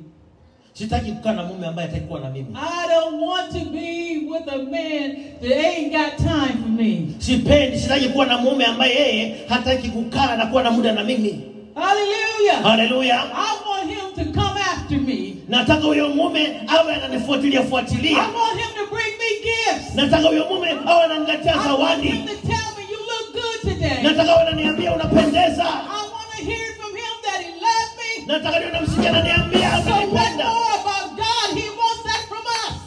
mungu anataka He was there when we needed him. mungu alikuwa pale tunapomhitaji He was there every time we pray kila tulipoomba He alikuwa pale every need that we have. alitupa kila hitaji letu So what more about God? sasa mungu ni hivi He said he was a jealous God. Alisema yeye ni mungu wa wivu. hataki tuwe na mungu mwingine tena. So spend the time kwa lazima lazima lazima uwe na muda na mungu. So fear. Kwa hiyo hofu. if that's one of your giants, kama inakusumbua. we know fear can be a liar. Nakwambia hofu inaweza kakudanganya I heard a song on 104.9 It blew my mind. It said, Fear is just a liar. And I said, if that ain't the truth, nilisikia wimbo kutoka redioni unasema hofu ni uongo ni mwongo nikasema ah, hiyo ni kweli kabisa but you tell yourself, or you tell that fear, I'm going to slay you today. You will not be in my life. Lazima ujue kujiambia. I've got another go. na lazima uiambie hiyo hofu nitakushughulikia And loneliness is a big thing. na pia upweke unasumbua sana Now that's something that really hit a lot of women. Now, I'm not saying men don't deal with it, but women especially. wanawake zaidi wanasumbuliwa sana na upweke Loneliness can take a grip on you, hivi unajua upweke unaweza ukakushikilia vibaya but it's a liar as well. lakini hata upweke nao ni udanganyifu tu See, just having a man ain't gonna solve the problem. Kuwa na mwanaume sio kwamba ikiwa ukiwa na mwanaume eti mwanaume atatatua matatizo yote unajua anasema ukweli They can say all they want. If I just had a man, I'd be okay. I wouldn't be so old, honey, please. mtu anaweza akasema kwamba nikiwa na mume itakuwa na maisha mazuri hakuna You can be married and still lonely. unaweza ukawa You una hasira unaweza ukawa na nyumba na kila kitu lakini bado ni mpweke But you've got to be fulfilled with God. lakini lazima ujazwe na You got to be fulfilled lazima ujazwe na mungu with God. Hallelujah. Jealousy can be cruel. wivu unaweza kuwa mbaya That's another giant that's got to go. na hiyo pena ni usumbufu mkubwa sana Hallelujah. These Hallelujah. yokes needs to be destroyed. lazima kuna vifungo We got to tell lazima tuyambia yanayotusumbua kama tutaka kushughulikia See by you saying it, the devil know if you real or not. sasa ukisema shetani huwa anaweza kujua kama unasema kweli au just huwezi kujisemea tu You gotta mean it and you gotta do something about it. lazima umaanishe na lazima ufanye jambo Say today is the last day I will go through this. kwa hiyo unajiambia kwamba leo ni mara ya mwisho mimi kupitia hili Today is the last day that this giant will take. Leo ni mara ya mwisho kusumbuliwa na hawa. Kwa sababu umeshafanya maamuzi kwamba utawashughulikia.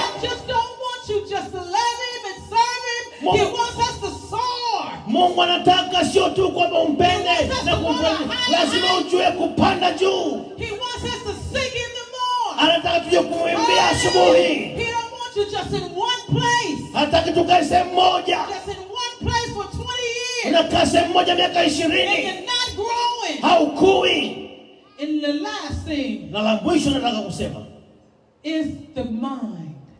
ni mawazo yako. The enemy will play with your mind. na kuambia shetani anaweza akachezea mawazo yako. Tell you lies. anakwambia mauongo mengi My mother used to say to us when we were small, mama yangu alikuwa anasema wakati tulipokuwa wadogo she said the devil can't tell the truth. anasema shetani hawezi kusema She ukweli said, so anything he tell you, girl, no, it's a lie because he can't tell the truth. kwa hiyo shetani kwa sababu ni mwongo chochote anachosema ni uongo We used to laugh, but I understand what she mean now. tulikuwa tunacheka lakini naelewa sasa The devil can just sit, you sit right in church. Unaweza kuwa umekaa kanisani hivi Awesome worship going on. ibada inaenda vizuri Awesome praise is going on. Kwa- kuabudu na maombi inaenda vizuri sitting there saying, "See, umekaa umekaa pale I knew Pastor Duns didn't like me. I knew. shetani anaanza I knew- anaanza kukuambia najua pastor I knew they ananipenda going to let me have this na najua pastor anapendi I na knew they wasn't going to help me. najua pastor I knew they wasn't going to listen to me. nilikuwa najua pastor hawezi kunisikiliza In the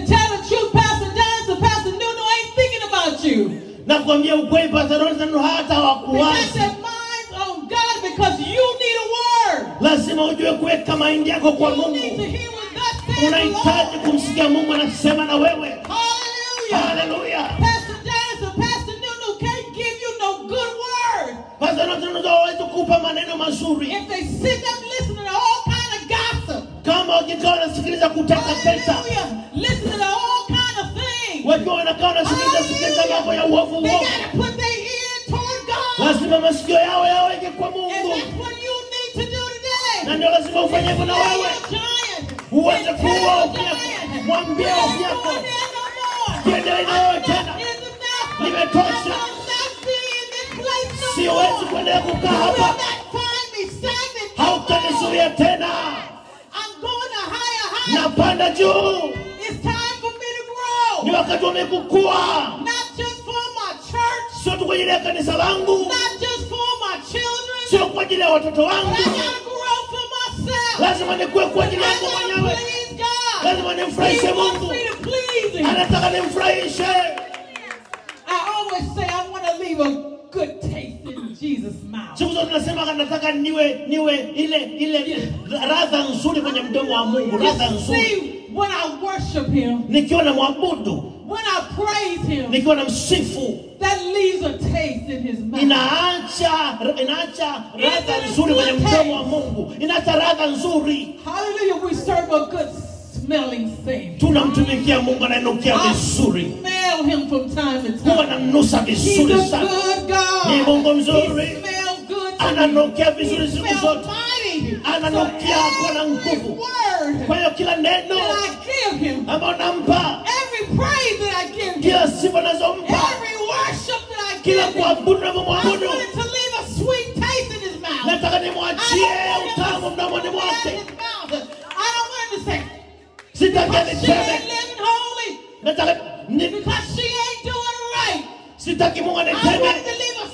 want aniteme it to leave a sweet taste. nataka niwe raha na ndani ya mdomo wa mungu haleluya Oh, taste and see that the Lord really is good. onjeni muone bwana ni mwema Tell yourself, jiambie enough is enough. imetosha I will grow. nitakuwa I will show my pastor. nitamwonyesha pasta I will show them Nitawaonesha. that they can use me. kwamba wanaweza Because kunitumia I will be close to God. kwa sababu nitamsogelea Because I will listen to God. nitamsikiliza mungu Because I will be obedient to God. nitakuwa mtii kwa I will make him mad. Nita- But I will be obedient. nitakuwa mtii kwa mungu It's time to slay those giants. ni saa ya kumfukuzia mbali anayekutisha remember, if you don't slay him. kumbuka usipomuua anayekutisha them itty bitty old giants will look this tall. They're gonna keep messing with you. yule yule anayekutisha na kinachokusumbua hata kama ni kidogo kitainuka kitakutisha kitaendelea kukusumbua But until you open your mouth mpaka ufungue mdomo wako bind you with the name. na useme nakufunga kwa jina la yesu. you open your mouth mpaka ukifungua mdomo wako useme shetani unajua pakwenda mimi ni mtoto wa mungu. Yes, I have made mistakes. najua nimekosa mahali. lakini nitakuwa ndani ya mungu. Nitakuwa vile I anavyotaka niwe. sitabakia hapa hapa tena. Haimaanishi lolote place for 10 years. kukaa pale pale miaka kumi God. lazima nikue Because there's a word that somebody needs to hear. kwa sababu kuna mtu anatakiwa kusikia neno Now remember, everybody's different. I'm, I'm, I'm ending up now. sasa kumbuka kila mtu anatofautiana na mwingine namaliza different.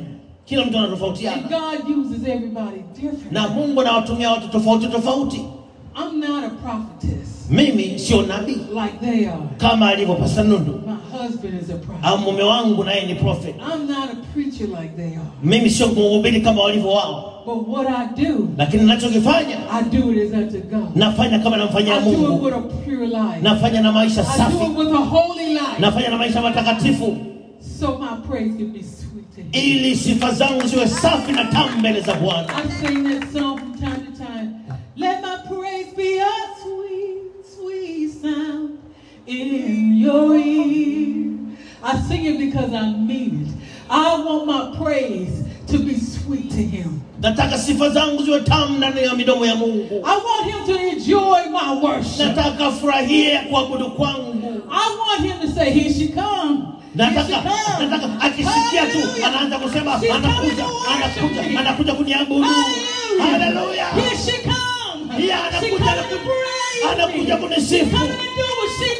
Anakuja me. kwa sababu ananipenda. Haleluya. Kwa sababu mungu ni mzuri kwangu. Ni mzuri kwangu. Daudi alipoamua kwamba atakwenda kumuua yule adui alitafuta mawe matano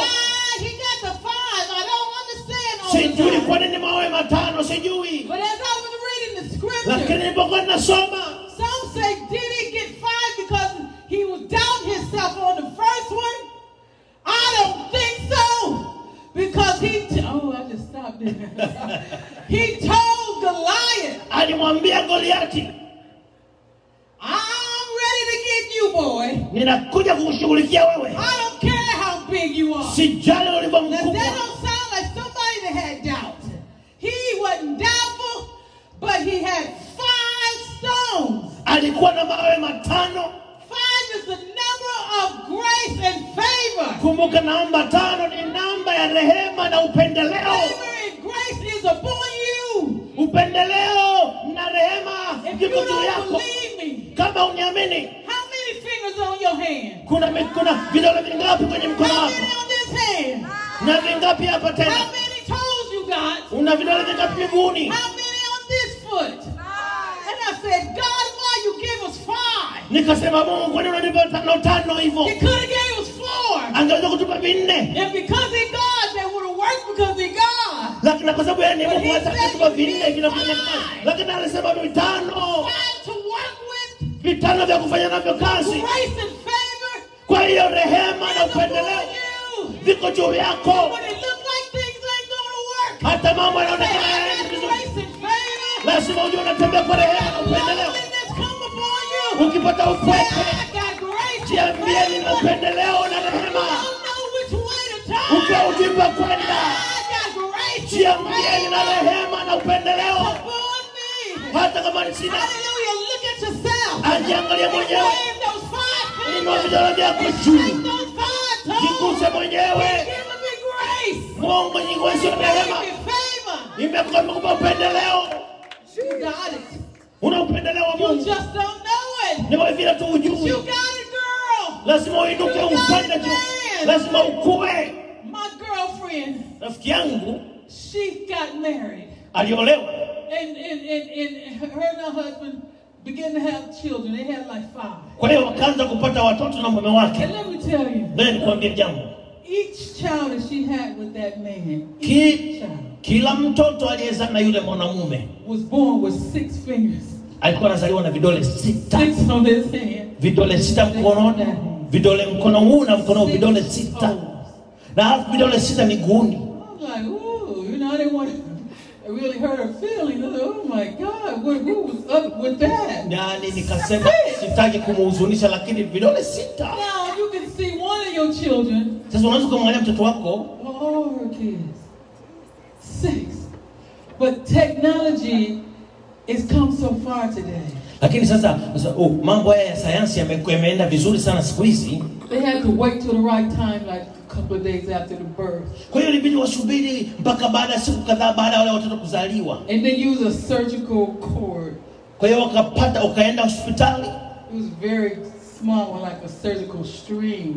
Kulikuwa kuna namna fulani wana kauzi fulani ka, ka hospitali And they put it around that six finger. wakakazungusha kale kauzi kwenye kile kidole cha sita na hata kwenye miguu pia wakafanya hivyo hivyo And they snatched it right off. halafu wakavuta kakakata Just it, it just comes right off. yaani ikakatika kirahisi sana And you unless you look real hard, you can't even tell it was there. yaani ukiwaangalia sasa hivi hata huwezi kujua kama aliwahi kuwa na kidole cha sita But if you look real hard, you see there's a little bitty nub. lakini ukiangalia sana unaweza ukaangalia kama kuna kakovu hivi And I said, God, you are so wonderful. nikasema mungu kweli wewe You're so wa ajabu perfect. wewe ni wa mkamilifu Because even God would say, hata mungu mwenyewe anasema those kids didn't need six, all you need is five.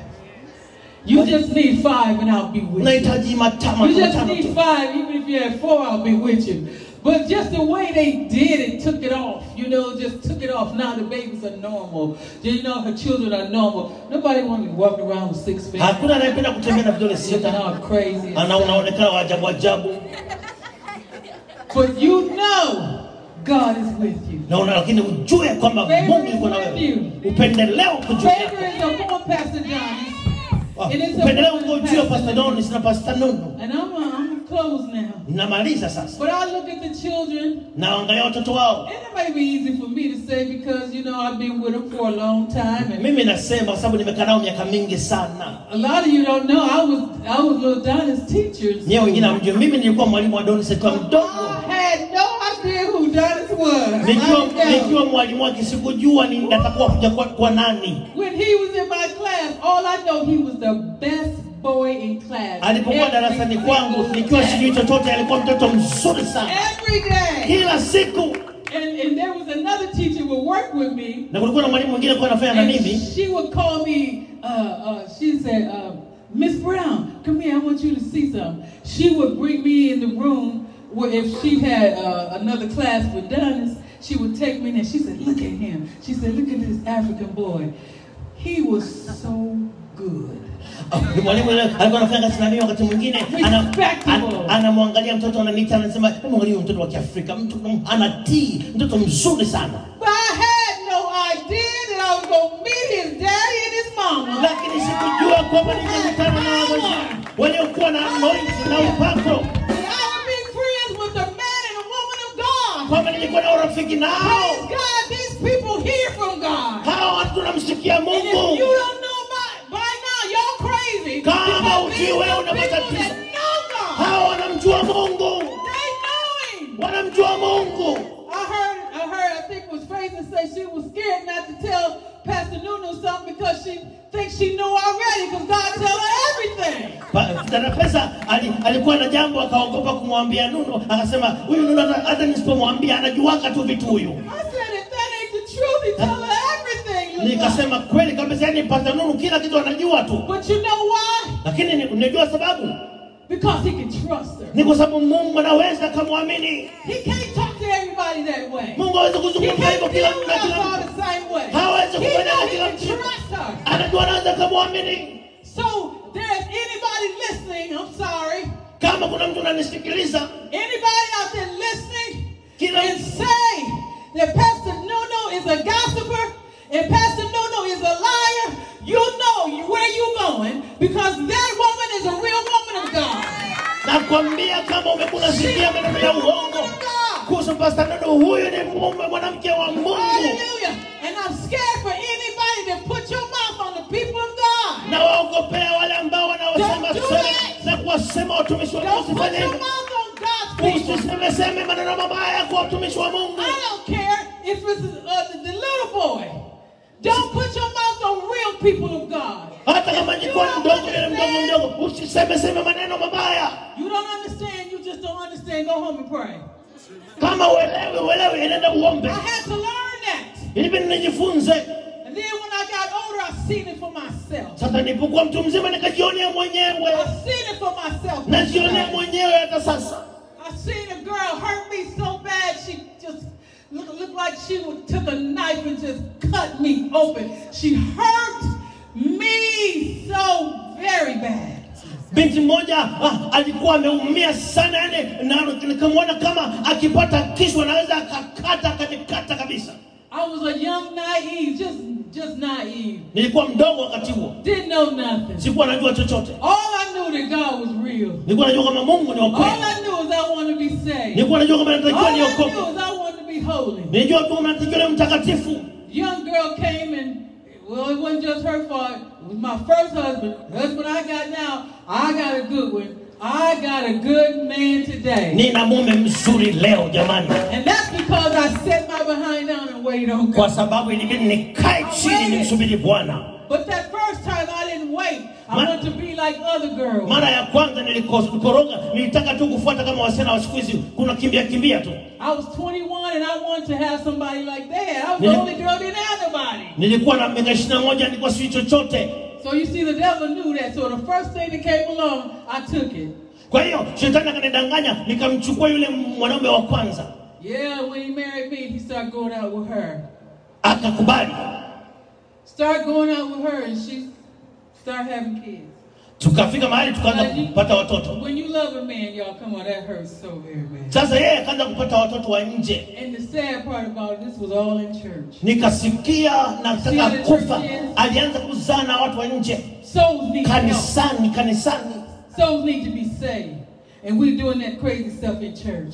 sasa tuko kanisani tunaheshimika anafanya mambo ya kanisani anazaa na watu wengine niliumia sana So I thought I could do the right thing. I said, let me go just talk to her. Maybe if I told her, leave my man alone, just leave alone. That was so dumb of me. I was just so young. nikaenda kwa mama nikaenda kumwambia hebu mwache mume wangu nilikuwa mjinga kweli I didn't know no better. nilikuwa mjinga nilikuwa sijui That girl just told me how she cussed me out and she threatened to fight me. nikaenda kumwambia dada alinitisha akanitukana How can God's people do you like what, that way? nikasema watu wa mungu wanaweza kafanya mambo kama hayo kweli watu wa mungu Such a hurt is such an embarrassment. ili ni umma ilikuwa inatia aibu But but saints, that'll happen when you don't listen. watakatifu wa bwana nakwambia hayo When yanatokea you don't wait. ukiwa humsikilizi mungu When you don't- ukiwa husubiri Listen to wisdom. ukiwa usikilize hekima ya mungu 21 don't make you grown. miaka ishiri na moja haimaanishi umekuwa I said I was grown. I was 21. I've been good all my life. I'm a married man. nilidhani nimekuwa miaka ishiri na moja kwamba nitaoa nitaolewa tu nitaolewa tu Yeah, but I, I, I paid for it so very dearly. But this girl hurt me so, so, so bad. So the Lord said, pray. Kwa nikaumia sana bwana akaniambia omba nikaomba I cried. Nikalia. Nikalia. Nikalia sana tu. Nikaomba sana. Nikamwacha yule mama. Miaka baadaye michache iliyopita. Yule mama aliyekuwa anasumbua akapata kansa akaondoka. Oh, that was the saddest thing. You don't wish nothing like that on nobody. Nakwambia ilikuwa inasikitisha kwa sababu huwezi kumtakia mtu kitu kama hicho ndio nawaambia nyie vijana uwe mwangalifu na unachosema na unachofanya uwe mwangalifu Never try to get revenge on nobody. That's that's up to God. usilipize kisasi kwa mtu yoyote mwachie mungu See, the word of God say every man will reap what he sows. biblia inasema kwamba kila mtu atavuna atavuna sawasawa na alivyopanda Things that I did, I had to reap them. niliyoyafanya mimi ilibidi I nivune. So just go somewhere and sit down and watch God move for you. kwa hiyo wewe nenda tu kaa msubiri Keep mungu your mouth mungu for God's atakusaidia people. Ah, usiseme seme maneno mabaya Praise God. Let's, Hallelujah. let's stand. hebu tusimame Let's tell ourselves we've got to grow. tujiambie wenyewe lazima tukue Come on, open your mouth. Say, I got. Fungua mdomo wako jiambie jiambie lazima nikue lazima nikue I will slay my giant. nitaua adui yangu I won't look over my giant no more. sitaangalia tena I will inayonitisha slay my giant. nitayaua I will not leave this house the same. sitaondoka hapa nilivyokuja You gotta really mean it. lazima umaanishe Hallelujah. Inua mikono yako juu inua mikono juu anza kuomba. Mwambie mungu vinavyokuogopesha mwambie Those little mungu things, vikemee you know you don't need to deal with no jealousy. unaona Look at who we are. angalia tulivyo. We're a child of God. ni watoto wa mungu. We don't have to be jealous of nobody the way they look usiruhusu wivu or what they got. Usiruhusu wivu kasumbua or what they wengine. don't have. kwa kuangalia wengine vibaya na kusema ni nini wanacho ambacho wewe huna. Let that stuff go. achana na hivyo vitu Kill that giant today. Say no more. huwa hiyo tabia Glory to God. Hallelujah. That hurtful things when you got hurt. kama una machungu moyoni I see a young lady where her real biological father raped her. namjua dada mmoja binti mmoja ambaye baba yake mzazi alilala naye akamrepu That kind of hurt messed her. Hicho kitendo kilimuharibu sana huyo binti It's so bad until she don't want to forgive. yaani aliumia moyo sana mpaka alishindwa kumsamehe baba yake Hallelujah, but we must forgive. lakini lazima tusamehe As I said, every man reap what he sows. kama navyosema mtu anavunaga anachopanda But forgiveness is for you. lakini kazi ya kusamehe ni ya kwako You need to forgive. lazima ujisamehe God forgives us. mungu anatusamehe sisi na sisi lazima tuwasamehe wengine Hallelujah. haleluya Then we can be free. ndivyo tunaweza kuwa huru Forget that pride. Achana na kile kiburi No more kill giant. Uwa hicho kiburi It ain't necessary. hai- hai- haifai kabisa Hallelujah. And those that are going through uh, poverty where you hardly have any money. wale ambao unapitia kwenye umasikini huna pesa kabisa Glory to God. Been there and done that. nimefika hapo nimeishi maisha hayo Some of you know how me and my husband slept in the car. We slept for a long time. Had no home. wengine hamjui lakini tumelala ndani ya gari mi na mme wangu hatulikuwa tuna pa kukaa hatuna nyumba hatuna apartment tumelala ndani ya gari Singing and preaching for Jesus. tunaimba tunahubiri lakini tunarudi kulala kwenye gari And just this one special time, he couldn't get a job.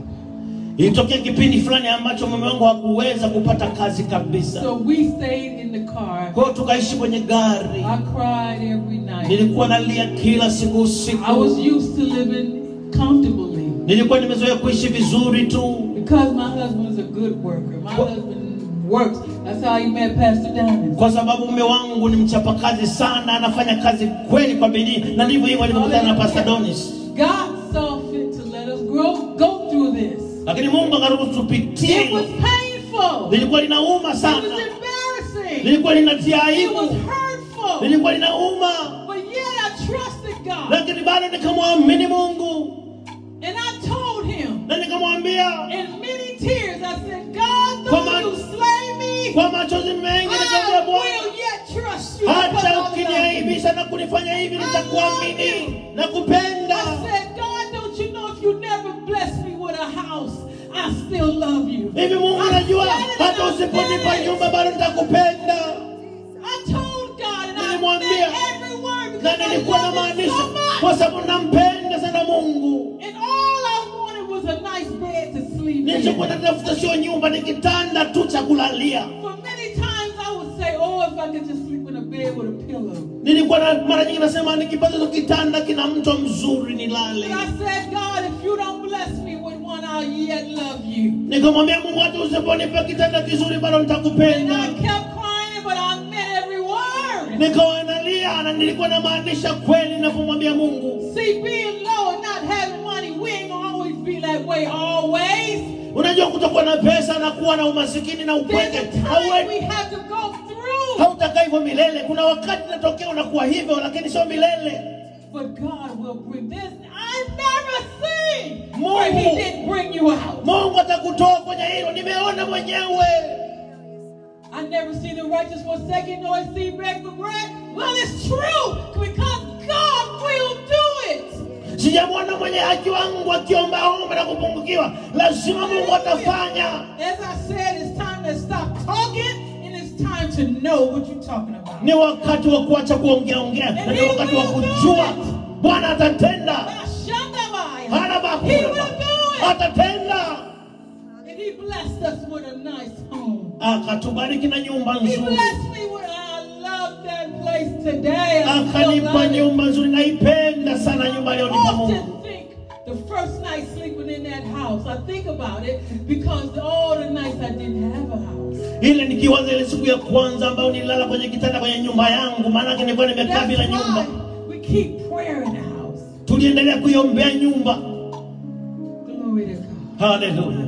So just let me say again. Hebu niseme tena, You better mean it. lazima umaanishe kwamba utamuua anayekuogopesha. Lazima ukue, lazima uwe vile Mungu anataka uwe. If Harabanda you really mean it, wave your hand to Jesus. Kama unamaanisha come mkono, him. mkono, omba. Hebu mwambie Bwana. Mwambie unachomaanisha asubuhi ya leo. Mwambie nataka kukujua, nataka kukujua, nitaua na nitisha Inua mikono yako juu, inua mikono juu. Hebu fungua kinywa chako, tuanze kuomba na mwomba Pastor Nunu aje, ma Pastor Nunu atakuja hapa katika jina la Yesu. Hebu tuombe. Chochote kinachokutisha, chochote kinachokuogopesha, kumbuka kwamba unayo una upendeleo wa Mungu na rehema za Bwana ziko juu yako. Mungu anakupenda. Namba tano ni namba kubwa sana. Vidole vyako vitano, mikono yako na miguuni mwako vina maana kubwa. Mungu anakupenda. Mwambie Bwana shida yako, kemee kinachokutisha, kikemee, kikemee kwa jina la Yesu, kwa jina la Yesu. Hebu tuombe. Baba, kwa jina la Yesu tunakuja kwako, mfalme wa amani, katika jina la Yesu yanayotutisha tunayakemea kwa jina la Yesu. Achilia, toka, achilia, toka, achilia. Hebu omba, omba, omba, omba katika jina la Yesu, katika jina la Yesu, katika jina la Yesu, achilia.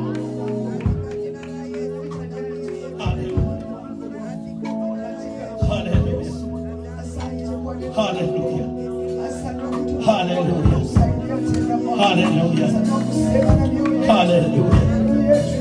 Hallelujah. Hallelujah. Kwa jina la Yesu, kwa jina la Yesu, kwa damu ya Yesu, kwa jina la Yesu, kwa damu ya Yesu, kwa jina la Yesu, kwa damu ya Yesu, katika jina la Yesu, kwa jina la Yesu, kwa damu ya Yesu, kwa jina la Yesu.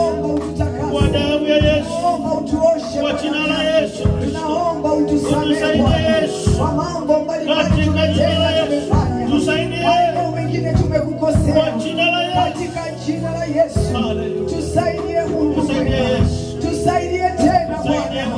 Maana neno lako limekuja wakati na majira. Wewe unajua unachosema Kwa nasi jina la Bwana. Yesu. Katika jina la Yesu Kristo. Nazareti. Baba jina la Yesu. tusaidie. Tusaidie Baba tuwezeshe. Baba tuponye. Baba tufungue. Baba tutie nguvu. Kwa jina la Yesu. Katika jina la Yesu. Kwa damu ya Yesu. Pokea sifa na utukufu Bwana.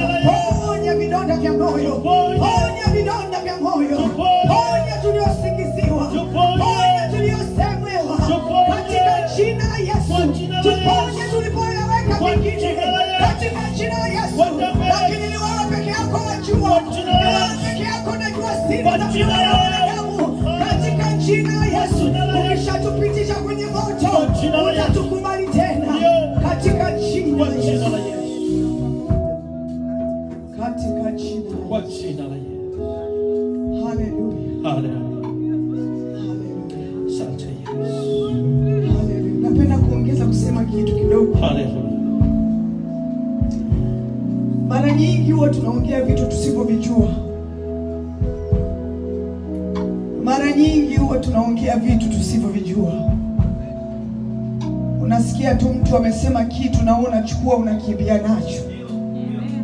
Wengi tunatembea na laana tusizozijua, na hauwezi kujua kama hujapitia. Watu mnakuja kanisani mnafurahi, lakini hatujui wengine wanapitia nini. Sio tu wale walio mbali, nimewaona watoto wangu niliowazaa wanasafa kwa ajili ya kazi ya Mungu, kwa ajili ya kazi ya Mungu. Wanaona watu ambao baba na mama wameomba na kusacrifice kwa ajili yao. Leo ukiwaangalia watoto wangu, kama ukiangalia, wanakusalimia wanaondoka. Aliyekuwa so damaged ni Dori. Dori ni huwezi kuongea naye two sentences, three sentences, akana huyo anaondoka kwa mambo ambayo waliopita kwenye hili kanisa waliwafanyia watoto.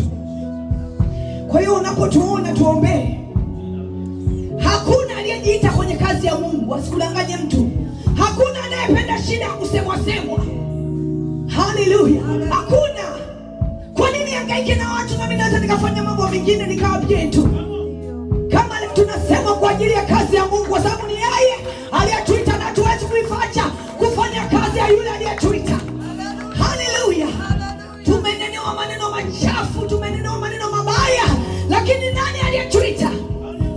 unaweza ukatuangalia ukaona utukufu. Hakuna utukufu unaokuja bila kuminywa. Yale mafuta unayapaka yalikamuliwa, kuna kitu kilikamuliwa, yale mafuta yakatoka.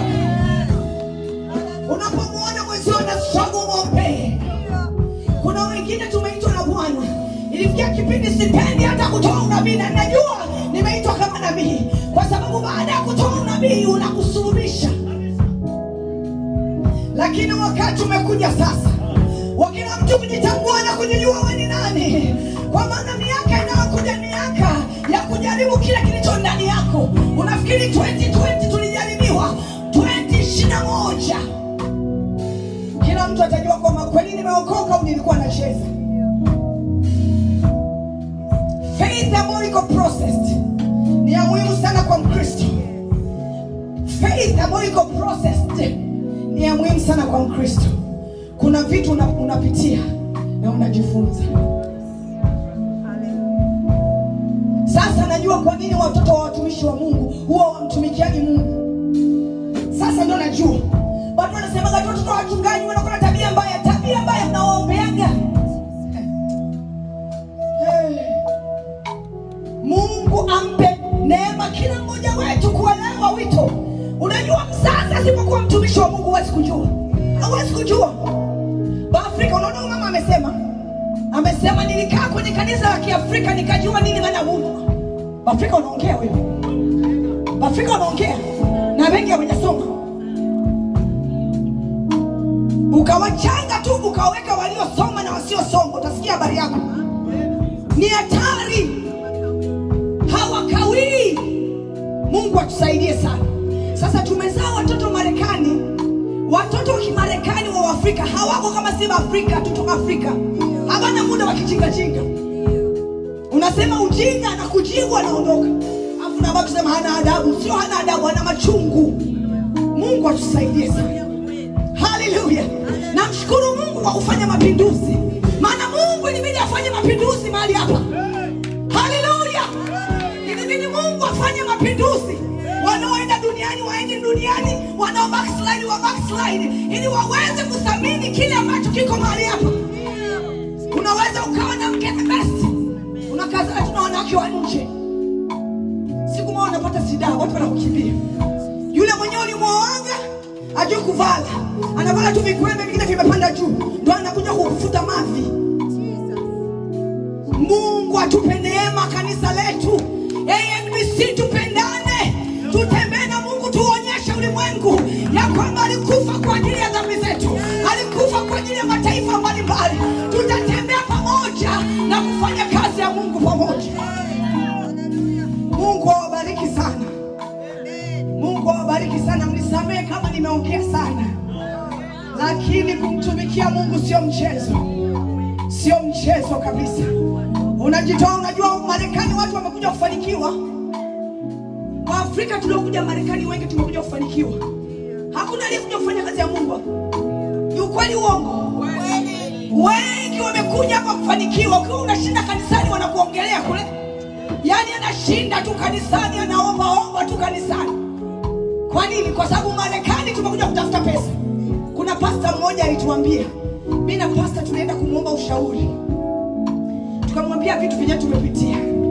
Akatuambia unajua niwambie kitu shida yenu nyewe mnahubiri injili ya mungu ya, ya kumpendapenda mungu. E, watu wajinyime wampende mungu. Hiyo injili haiko siku hizi. Anasema injili ya siku hizi unafundisha watu wapate mali. Wakipata mali wanachangia kukanisa. Nyie mnafundisha uh, eh, utakatifu ufalme wa mungu. Watu wamekuja ulaya kutafuta franka. Nilikuwa nalia nikafuta machozi nikasema come on nikasema huyu ashaenda upande wa pili huyu. Si unajua unaweza ukaingia mlango wa bwana lakini ukachepuka kwenda upande wa pili. Haleluya! Lakini bwana bado ana watu ambao wako tayari kula mlenda wako tayari kula bamia wako tayari kula fufu kwa ajili ya yesu. Haleluya! Sijui kama mnajua mungu bado na watu ambao wanamwinamia wanasema tunakuabudu. Hata kama tuna kitu tunakuabudu bwana. Maanake vyote vinakuja na kwenda hakuna kinachokuja na kuikala. Mama Catherine, nilikuwa nakusikiliza juzi ulikuwa unafundisha mi nikakuangalia nikasema huyu mama huyu ni wakiana huyu. Anafanana alikuwa ana, ana, ana, ana franga anasema kama alikuwa anabeba dhahabu unabeba dhahabu eh, unaenda kuiuza? Nikasema hey, si unaona? Lakini leo unaogopa mungu basi wote tuogope mungu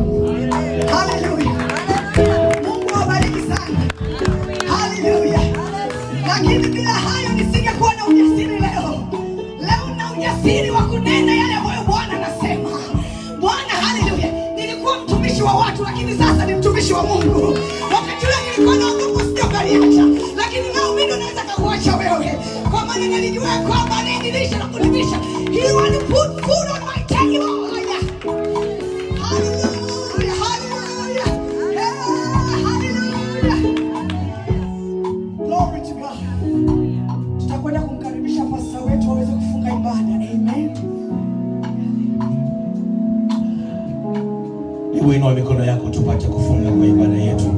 Tunawashukuru waliojiunga nasi Facebook Live. Mungu awabariki sana.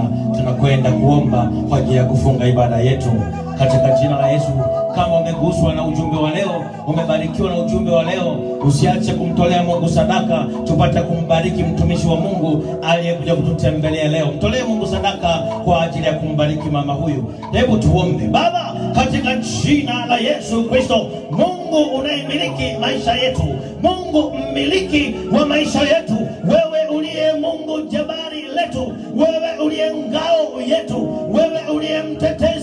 wetu, wewe uliye vita vyetu, wewe uliye jemadari wetu, wewe uliye loya wetu, wewe uliye Mungu wetu, wewe uliye mtetezi wetu, kwa jina la Yesu, asante kwa unayoyatenda katika maisha yetu na katika kanisa hili. Asante kwa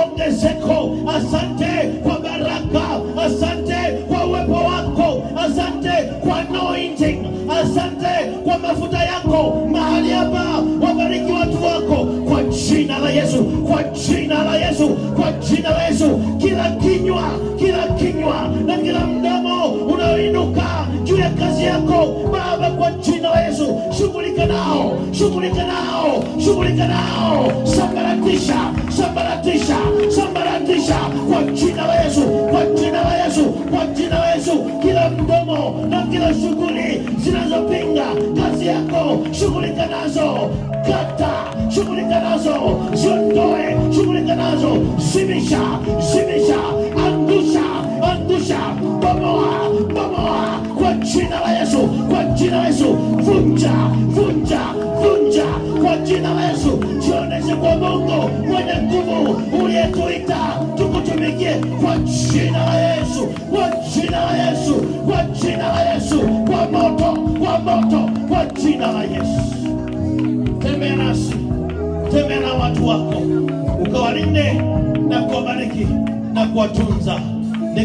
jina la Yesu Kristo tunaomba na kuamini, na kila mmoja kwa sauti sema haleluya, kwa sauti sema haleluya, kwa sauti sema haleluya, kwa sauti tunasema haleluya.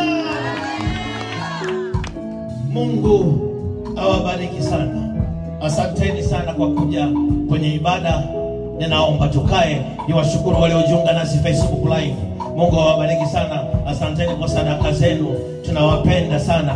Tunapenda kuwapa matangazo machache kwenye screen. Matangazo machache hapa ni kwa ajili yako wewe uliyepo hapa ndani na watu wa Facebook live. Kama unabarikiwa na kanisa hili na unabarikiwa na ibada zetu na unajua ya kwamba Mungu wa kweli ndiye Mungu anaimiliki hili kanisa na aliyetuita. Kwenye skrini yako kuna ratiba ya maombi ya kuf, maombi ambayo tumekuwa nayo kwenye prayer line kwenye simu. Kuna watu hapa ndani mnabarikiwa sana, hebu inua mkono wale mnaingia kwenye maombi kwenye simu. Wako wengi mnabarikiwa sana, Mungu awabariki. Hebu nikutie moyo, hao wanaonyesha mikono wana ujasiri, kwa sababu kwenye maombi ya simu na kuambia Mungu anatenda kazi. Unaomba. Yani, yani unachofanya ni kwamba ukiingia kwenye simu, kwenye simu ukipiga hiyo namba ya simu, unakwenda chumbani kwako mahali fulani, unapiga magoti ukiwa peke yako, ni wewe na simu. Unawasikia wenzako watakatifu wenzako. Wanaliitia jina la Bwana, wananena, wanaliitia jina la Bwana, unaanza kusikia unashuka, unaanza kusikia una, una, una, unagusa mbingu, unaanza kusikia unatembea, na ni muda mzuri sana wa kuomba pamoja. Kama unaweza saa mbili usiku Jumanne na Alhamisi, kama unaweza jiunge na wengi wanaoingia kwenye maombi ya simu, utabarikiwa sana. Namba ya simu ni hiyo hapo, usiondoke bila kuiandika, na hata ukiisahau wewe niulize tu, nitakwambia. Lakini Facebook huwa tunaituma, kama unaonanga Facebook huwa tunaiweka Facebook hiyo namba, kila Jumanne tunaiweka na kila Alhamisi tunaiweka kwa ajili ya kuwakaribisha watu na kuwakumbusha watu. Mungu awabariki sana. Asante Facebook Live, Mungu awabariki sana. Tutaonana tena kipindi kijacho. Bye bye.